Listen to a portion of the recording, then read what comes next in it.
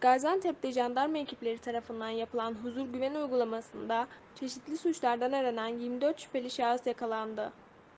Uygulama ile 3936 araç ve 3843 şüpheli şahıs sorgulanırken 27 sürücüye toplam 44.384 lira idari para cezası uygulandı.